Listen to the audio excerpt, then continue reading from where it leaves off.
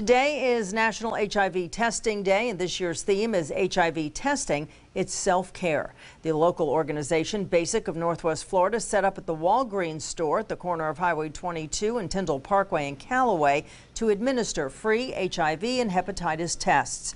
Approximately 1.2 million people in the U.S. have HIV. The Centers for Disease Control and Prevention estimate that over 18,000 Floridians were living with HIV but unaware of it in 2020.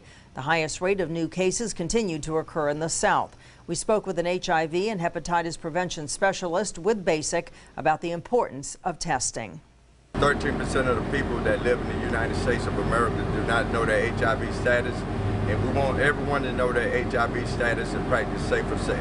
Everyone should be concerned about their sexual health, and taking the HIV test is one of the ways in which you can take care of your own health and make your health a priority.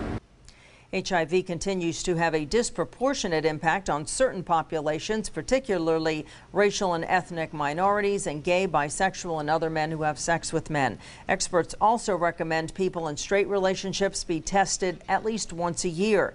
People involved in gay relationships should get tested every three months. If you're unable to go get a test, you can call BASIC. They will come to your location to administer the HIV test.